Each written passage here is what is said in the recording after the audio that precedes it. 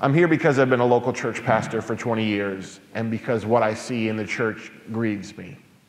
Um, I see things that don't resemble the Jesus that I grew up with.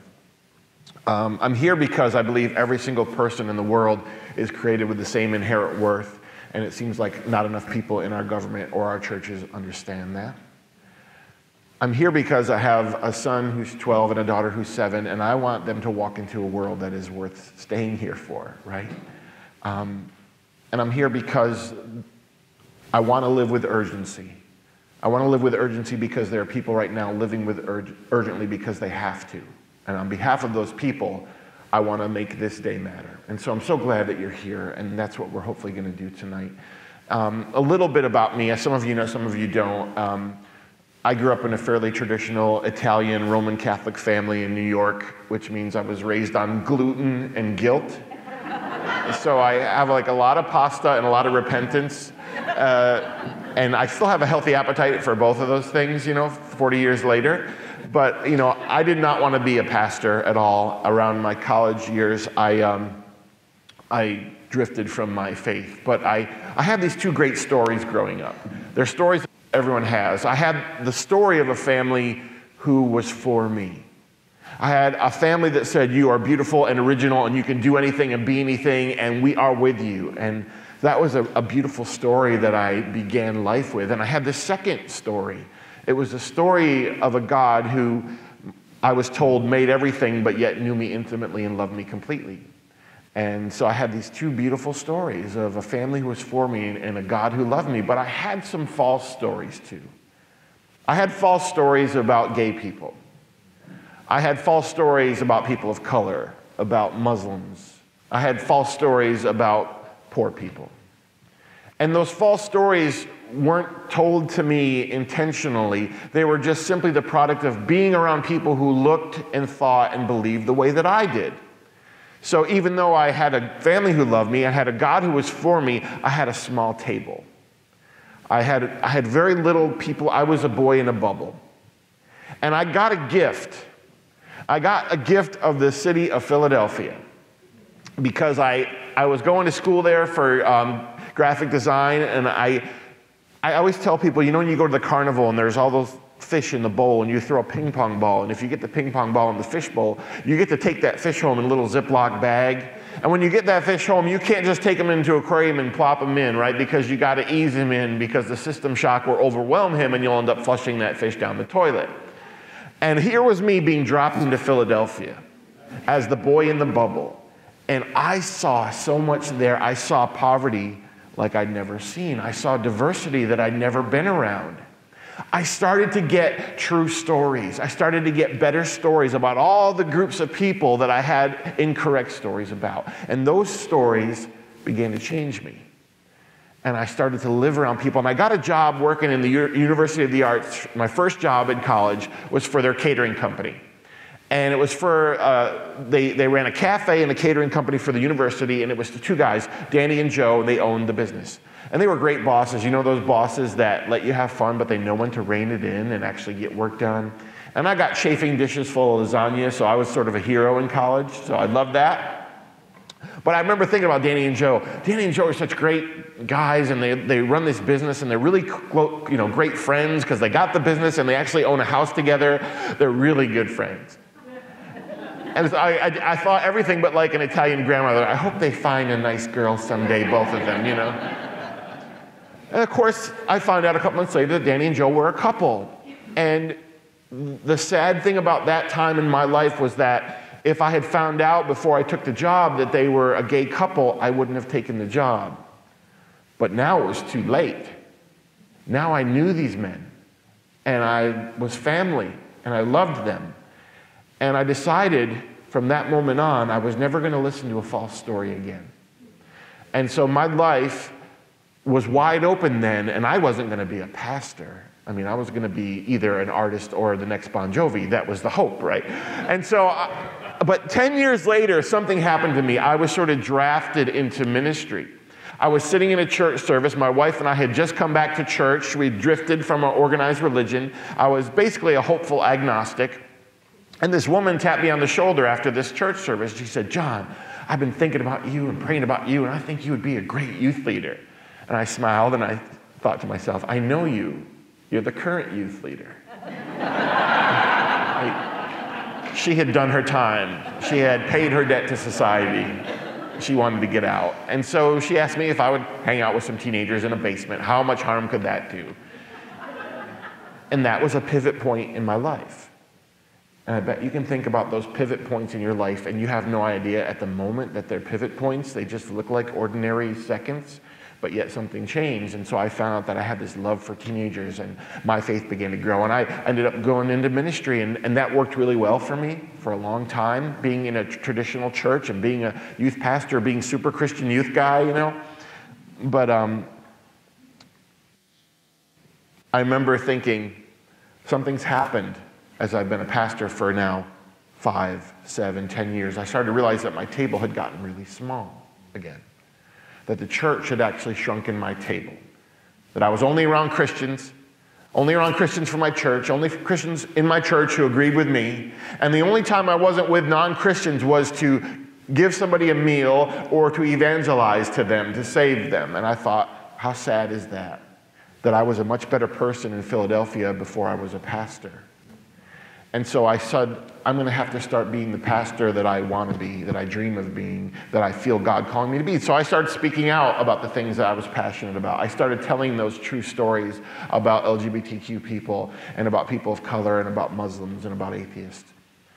And so I remember getting into, you know, this new church in Raleigh, North Carolina, and we were there about five months, and I felt God calling me to leave that church. And it came in the form of my pastor's voice saying, You're fired. I'd like to say it was in my quiet time and it sounded like Morgan Freeman, but no. It was just at a Starbucks. I was fired at a Starbucks and I don't even drink coffee. And I was devastated. Um, but I realized something in that moment. I got a gift. I got a gift that I could now ask anything and I could say everything. And when you can ask anything and say everything, whether in your spiritual life or in your marriage or in your career or with your family, when you can ask anything and say everything, you never want to give that gift back, right? And so I started doing that, and I, I didn't have a job for the first time as a pastor in 17 years, and I wrote this blog post called If I Have Gay Children. And the next day, CNN called, and the world exploded, and I realized I now had my bigger table. I had the chance to tell people things that I didn't think they were hearing. I didn't have to be beholden to a community. I didn't have to say the right things. I could just speak whatever my heart told me to say. And so that's what I've been doing. And I've been working on how to create redemptive communities where people can all be valued and loved and received. And so two years ago, I started writing this book called The Bigger Table. And the idea is that, yes, there is a way to do community that, that may be better than we've been doing it, especially in the church. Could we get disparate people together and actually do something beautiful? And I was so hopeful when I wrote it, and I was so energized, and I was so optimistic when I started writing this book two years ago. And then we had a presidential campaign. Then we had an election, and now we've had almost a year of a presidency and I wanted to cancel the book. No, I didn't want to cancel the book. I just knew it was going to have 200 empty pages and it was going to say, I got nothing, right? Because that sense of optimism was stolen from me. I lost that sense of possibility that I started writing with. And I had to say, right before the book came out, do I still have that sense of possibility? And if I don't have it, well, I'm not going to stand by this thing that I've written. And I realized, no, there is possibility. There is hope. There is joy. And it is in the faces that are staring back at me right now. That this is the reason we keep going because there are people who feel the way we feel. There are people whose hearts bleed for what's happening right now.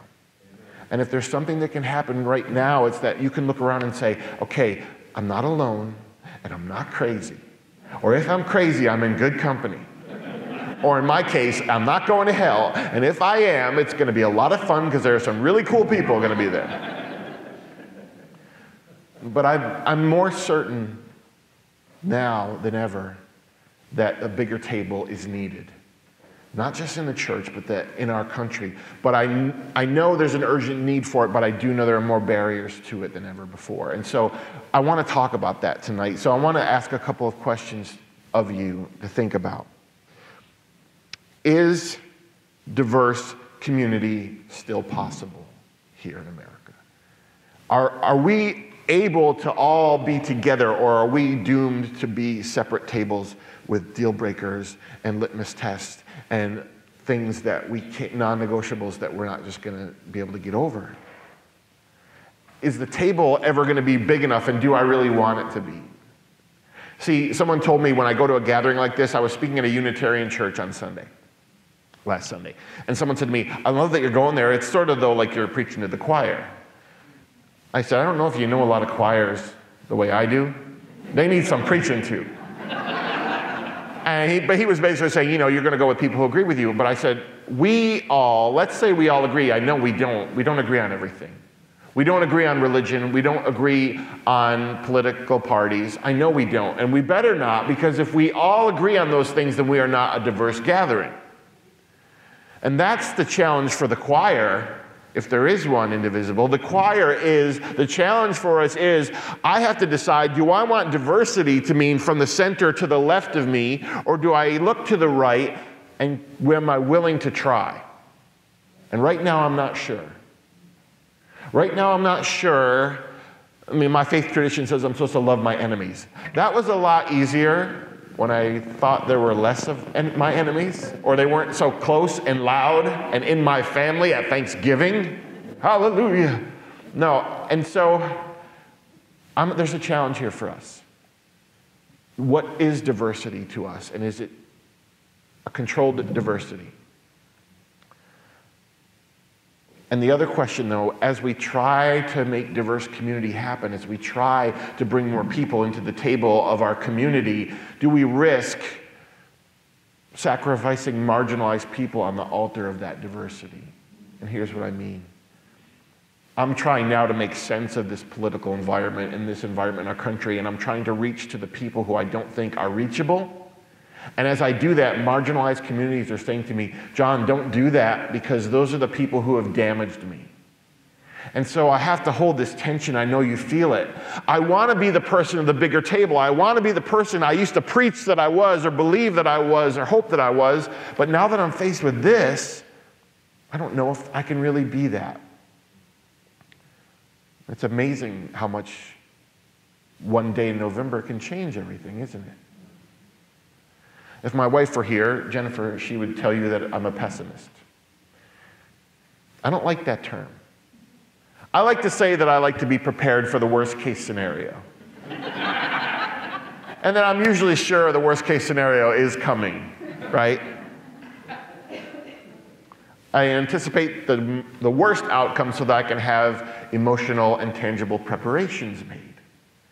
And if, I, if I'm a prophet, then I prophesy on the side of disaster right? Doom and gloom, that's me. And so election day was approaching, and my wife would say to me, Here's the data, here are the polls.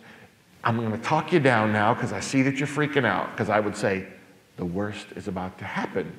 And she'd say, No, you need to relax. You have lost your mind. And so we had this conversation. And even though I said it, even though I said, I know who's going to win the election, even though I was sure the worst thing was going to happen, I really didn't in my wildest dreams imagine it to be possible. That, that a certain level of cruelty and malevolence and bigotry would somehow win the day. I, even though I said it, I really didn't want to believe it. So I said to my wife on the evening of the election, I said, Here's my plan, dear. I'm going to take half an Ambien. I'm going to go to sleep at 8 p.m. And at 11:30, or I said, "Wake me up if we get good news." So the next thing I knew, I looked at the clock. It was 8:30 p.m. I said, "I better take the other half of that Ambien." And I got up, and of course, we saw what happened. Tuesday turned into Wednesday, and and sort of like that nightmare of a few hours happened, reality began to sink in. And it began for me what I know it began for many of you a, a, an intense time of grieving. Like, not just a symbolic thing, not just a figurative idea, but deep, profound, real loss, as real as any loss that you've ever faced. And we grieved since then on two levels. We grieve the big things, like the, we, we, we grieve the idea of country, and we, we, we grieve the idea of the church and of America, and those big and distant things, but we also have grieved those close things, haven't we? Th- those intimate things in our lives, right? It wasn't just who ascended to the highest office in our country. It was all the things we learned about our country and our racism and our divisions, and we thought things were better and they really weren't. And we learned stuff about our neighbors and we learned stuff about our family members and we saw our pastors post stuff on Facebook and everything felt tainted, right? Our families and our churches and our marriages and our workplaces suddenly became hostile territory. Holiday gatherings turned into these minefields that we have to navigate now. Our church in Raleigh, North Carolina, we're a really progressive church. So if they're centered to the left, we're going to be at that window, right? Or so we thought. See, most of our church community, we have been doing something called deconstructing our faith, which means you look at the faith that you grew up with and you're thinking, this is not working for me, and you start to take it apart.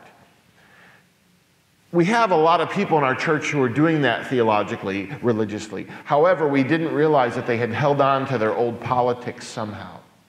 And so we thought we had a certain group of people in our community, probably what you would assume about yourselves right here in this gathering. And then in the wake of the election, we found out, no, that's not the case at all. And we had a really divided community. And here was the funny thing, friends. Our problem in that church was now diversity. I've been a progressive pastor for 20 years preaching, you people over there, you got to welcome us. And now that I found out they were in our community, I thought, how can I get them out? So I was facing my own fraudulence. And we can talk all about why my fraudulence is okay because those people are this and that. We can say that, but still, I've got the gut check as a human being, not just as a Christian. Am I going to be a person at the bigger table when the people coming to the table are people I don't want at the table?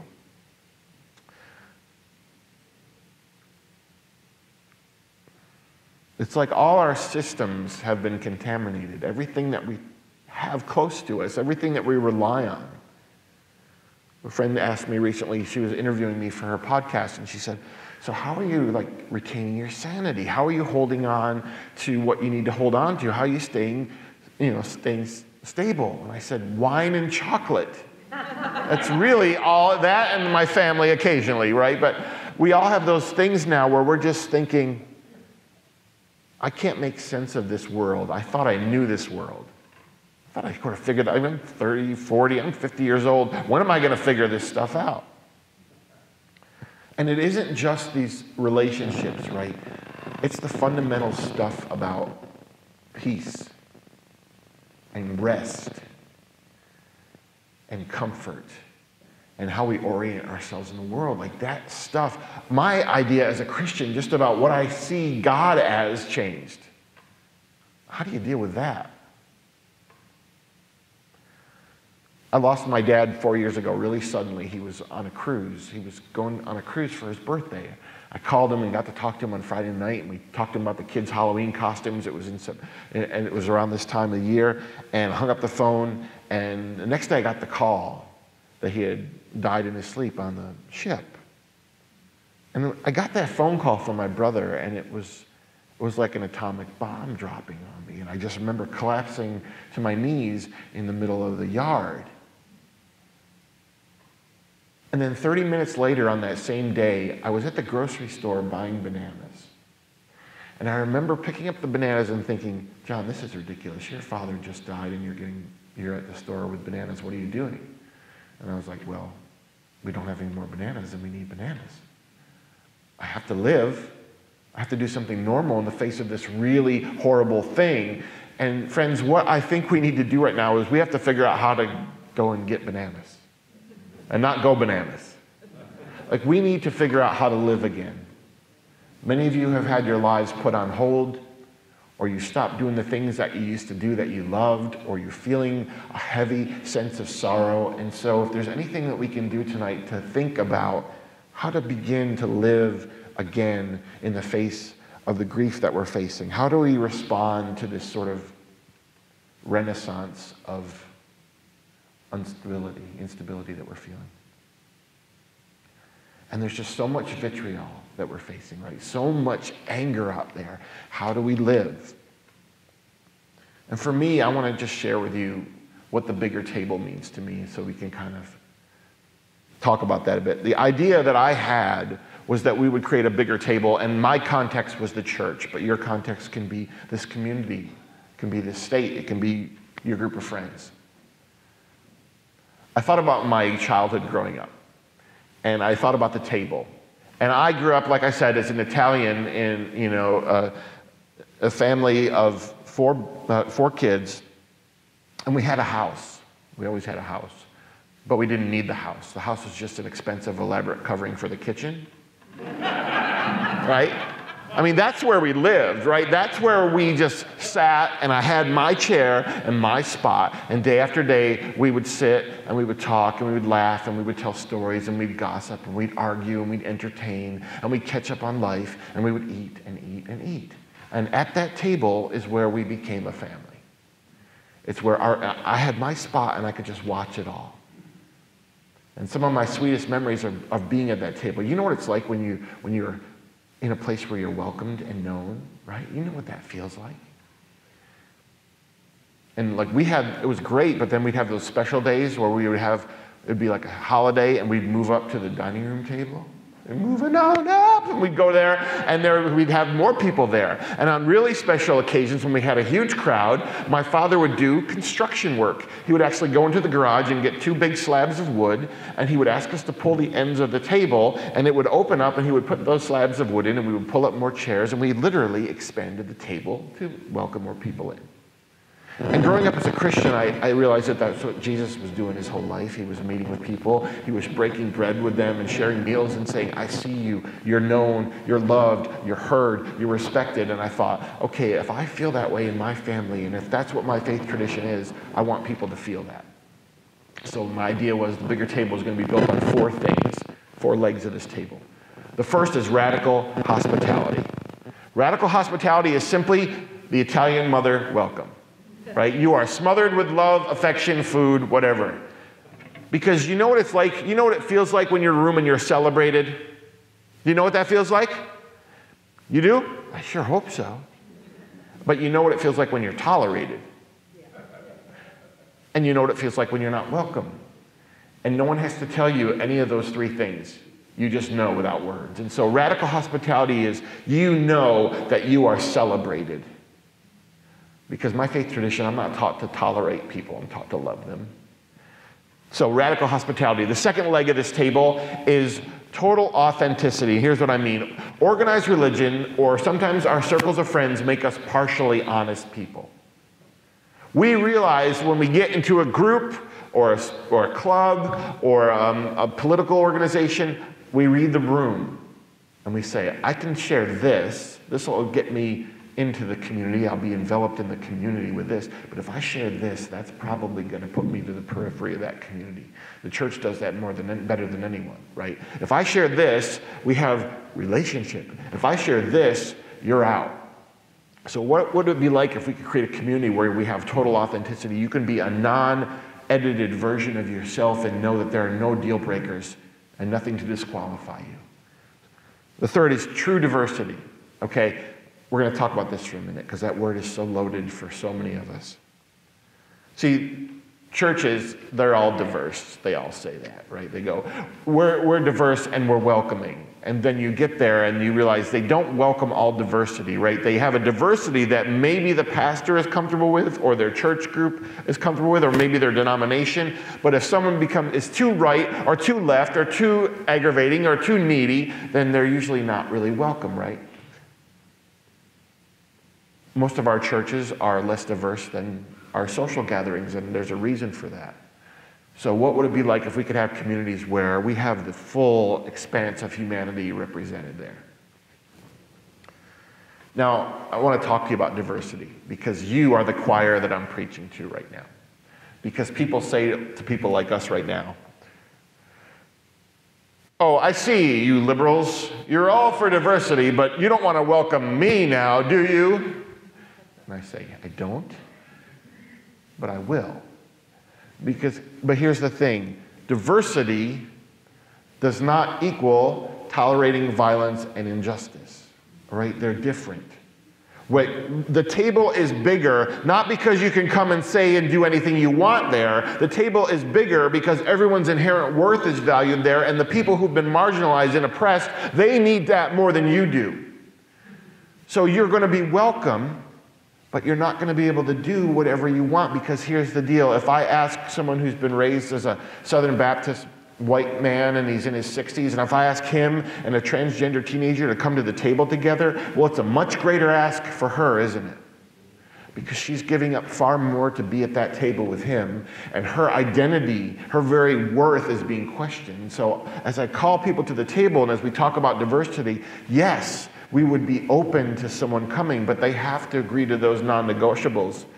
And if one of those non negotiables is not seeing the other person as inherently evil, then they're going to have to respect that. And so I tell people Trump supporters are absolutely welcome at my table. The problem is, right now, I'm not sure if they support him if they would want to be at the table because those non negotiables may not interest them.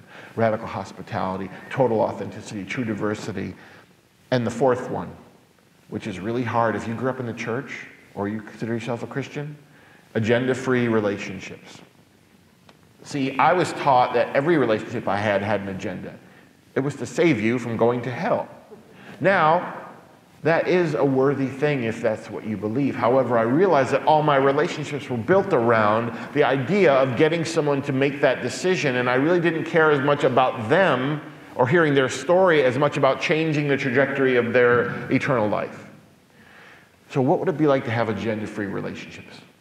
maybe with someone you don't agree with politically, maybe with someone in your family who you're really having trouble with, to sit with them and say, I'm going to hear your story and I'm not going to try to change or renovate or fix or save you. I'm just going to sit with your story and realize that it's as valid as mine. See, what I had to realize in the wake of the election is people who voted differently than I did voted for the same reason that I did. In fact, I was talking to a, a transgender teenager in a coffee shop about this idea of the bigger table. And right outside the coffee shop, just like a window like that, was a guy carrying a sign saying that she was going to hell. I call him Sign Guy.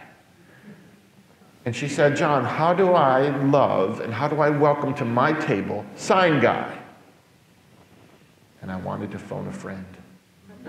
I wanted to get out, right? Because I realized that I had just been asked a question that I didn't have an answer for. And as a pastor, you don't do that ever. And I thought about it. I said, here's what we do. We look at Sign Guy right now and we realize that Sign Guy at this very moment in his head is doing the very same thing that we're doing in our heads, trying to hear the voice of whether it's God or the universe or just plain old human goodness and to respond to that voice. In his mind, he thinks he's doing something beautiful somehow. It looks horrible to me, it feels horrible to you, but can we look at that person and say, in his head, he's trying to do exactly what we're trying to do? And can that be the seed of the table? To say, I, don't, know I know you don't know how this looks or feels to me, but I know how it feels to you.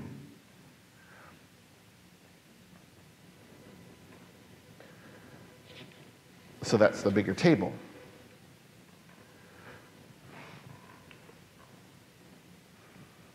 The struggle that we're having right now, I think, for most of us, is that our worst nightmares have come true.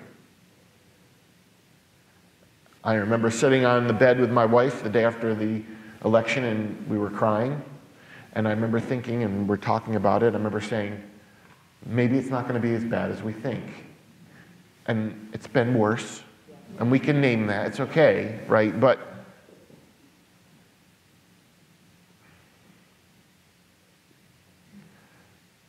the question becomes now what do we do? What do we do now that it's the worst case scenario? One thing we do is we realize, well, we're still here that we are still physically here, that we have our gifts intact, intact and our passions intact and our families intact and our relationships. We have enough stuff right now to live in this moment and to say, I'm going to try to get to the next one. I'm going to try to do something redemptive and beautiful on the way.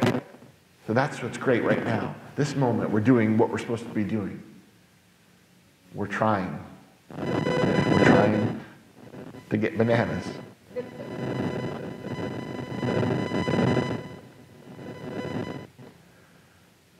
So you're the resistance.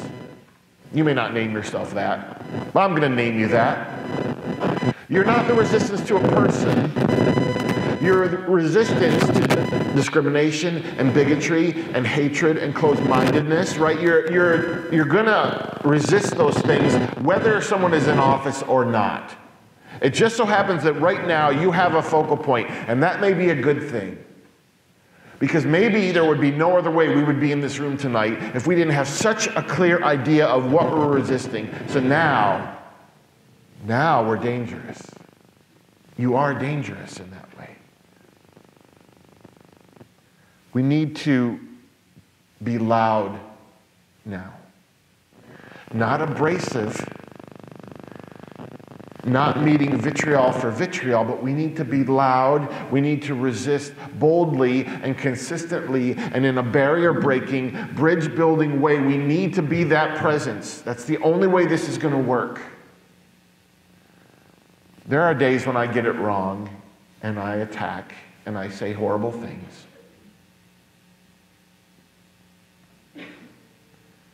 But I know that's not going to be the way that things get better things are going to get better when I tap into the deeper humanity that I have and that I, I'm fighting for. I was in Murfreesboro, Tennessee last week, and I got invited to a gathering called A Seat at the Table. How cool is that? They didn't do it for me, they've been doing this. And this was started by my friend Jason, who I write about in the book. He's a Christian man, and, um, and, a, and a Muslim family. And, and this Muslim family hosted a seat at the table. And I sat with 30 people last week in a room, in a banquet room. And I met this couple and their children, Muslims. I met three people from Puerto Rico who still had not heard from family members. And the one gentleman said, I've been, I've been walking dogs and fixing things just to make whatever money I can to send it to Puerto Rico. And I, I met a couple from Bangladesh who have lived here all their lives and said, I've felt safe here my whole life until this year. And then I talked to Christians who were in their church. There were, there were Christians there who were just disenchanted with their faith. And we sat around that room, though, and I, like, I was fighting back tears the whole time, thinking it was so beautiful, but then thinking how horrible it was that they were going through this. And I remember thinking, if only those people could hear his story, if only those people could get it, then they wouldn't be the way they are. And then I realized I'm talking about those people the way that those people talk about my friends. You can see my dilemma. I don't want to be I don't want to be the thing I hate. I don't want to be the thing I'm resisting. Because you know what? We have good things on our side. We have equality and diversity and justice. But everyone who does horrible things thinks they have a good reason to do horrible things. So I guess I'm just saying, let's hold on to our humanity and hold on to our souls because we won't win if we lose those things. So we've got this radical hospitality, this total authenticity, this true diversity, and these agenda-free relationships. And I want to share a couple things with you that I think might help going forward. I think we need to reach out to the middle. Something has happened. As my voice has gotten elevated, I've realized that I'm a voice, but I can easily go all the way to the extreme places because that's where people want to put you. They want to say, You're for me, you're against them, and them over there are doing the same thing. And so, but what we know right now is there are a lot of good people in the middle. And they may not agree with us politically, and they may not have voted the way we voted, and they may not believe the things we do about God or family or education or healthcare, but they're willing to come to that table of humanity and they're willing to listen. I don't want you to be fooled by the voices of the loud people on either end. And I don't want you to become those people, right? Because there's really, the numbers show us that. The voices that we're seeing represent America and Christianity. They're the minority, right? There is the, but here's the deal they're organized. And an organized minority is going to be louder than a scattered majority. What I love about tonight is I see a partnership between a civic organization and the church. And this is what we need to be doing. We need to be saying, okay, where are the good hearted people who are willing to listen wherever they come from? This is not a church thing, it's not a political thing, this is a human thing. And so, what I need you to do is to be leaving here saying, how can I find more? How can I find the Muslim families? How can I find people, the humanists? How can I get people who are like minded to say, okay, we can agree on these non negotiables? Someone suggested this to me, and I don't know how you feel about it, but I'm going to share it. He said, John, at this point, I think we need to be collaborative and get with as many people as we can so that we marginalize the marginalizers.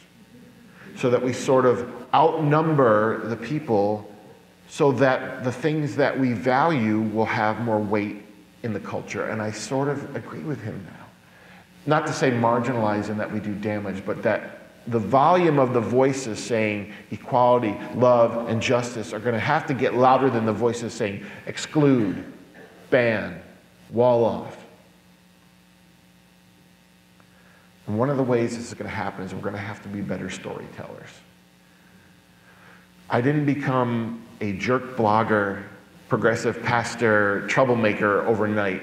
I was a normal person and I started listening to stories that weren't like mine, and those stories changed me. And if there are people still willing to listen, those who are still willing to listen will be changed by stories. It only took me to meet one gay couple to know that all my false stories needed to go, right? It only took one Muslim family to invite me to dinner to realize how stupid it was that I vilified a whole faith tradition growing up. So we have to be storytellers. This is the power that we have. And then I think you need to develop your personal activism. Now, we're doing this together. This is a corporate work of activism. But people think activism is just standing in a street with a sign yelling at people across the street with different signs.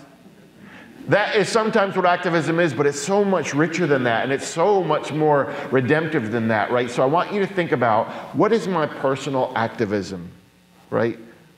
Because activism is simply using whatever privilege and good fortune and resources that you have to lift up the voices of those who have less of those things. Right? So use your position and your privilege and your resources and your circle of influences to lift up the voices of people who have less. So, how are you doing that? Activism is simply the opposite of inactivism, and I don't want to be inactive as a person of faith as a human being on planet Earth, I want to be active in this thing. I want the, my inner convictions to actually alter the planet, and I know that's why you're here on a Friday night. So here's a couple of ways your personal activism could begin. You know those difficult family conversations you have that you know you're going to have, and then when they start to happen, you say, okay, I'm leaving.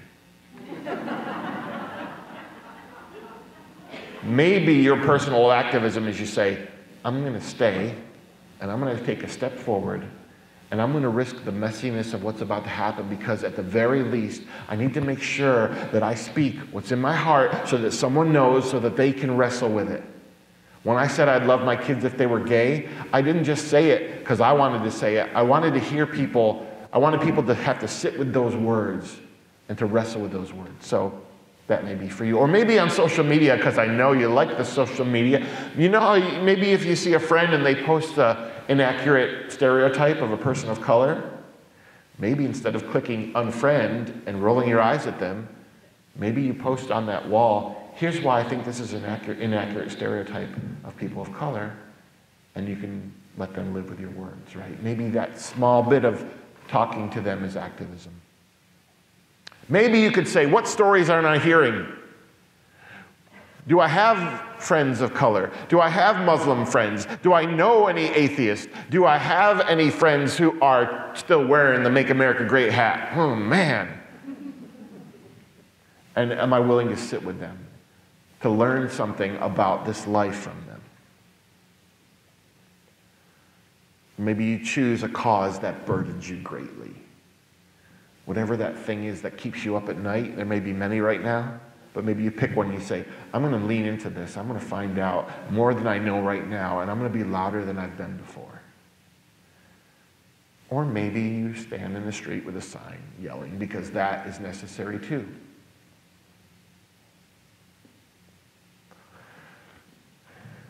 What I know is that right now there are people who can't wait for me to figure out how to be an activist. Right now, I know there are people who can't wait for us to figure out how we're going to do this indivisible resistance thing, right? They're, they're living with an urgency that has been thrust upon them. There are people being told that they shouldn't be able to get married, that they can't serve in the military, that they don't belong here, that their religion is a terrorist organization. And so we have to decide if we're okay with that. And I don't think we are.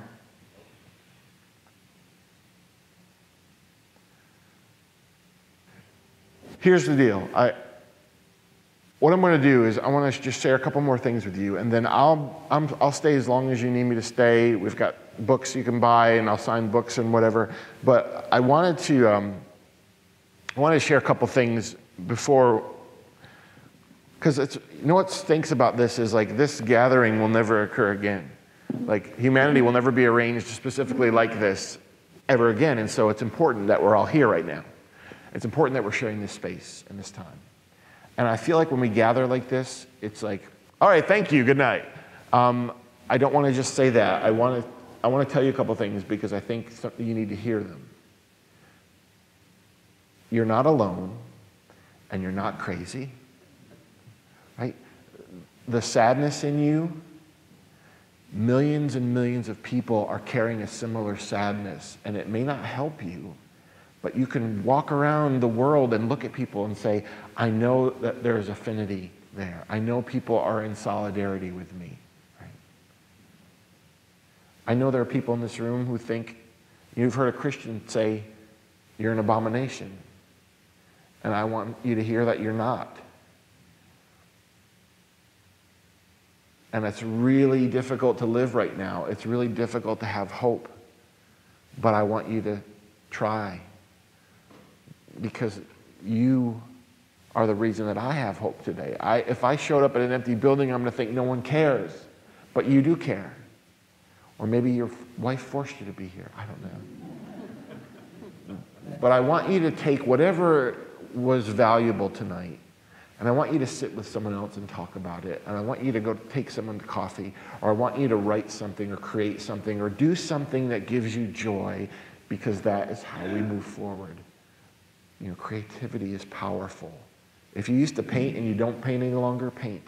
If you used to scrapbook, keep scrapbooking. If you like to cook, cook me something. I'll be here till Sunday. Do the things that give you joy so that you have a life that is worth fighting for. And I just want to thank you because I, you're doing beautiful work in quiet ways and in loud ways. And some of the activism that we do, no one will ever see it. Some of the compassion we show, no one will ever know. It'll never be newsworthy. I just encourage you to keep doing it right? because this is, this is all we have. Our humanity and seeing the humanity in others and trying to extend the table to people who are not yet welcome. And it's been an honor to be with you. And, you know, I will be here tomorrow at the church, and I'll be here on Sunday morning. And um, I just thank you for who you are.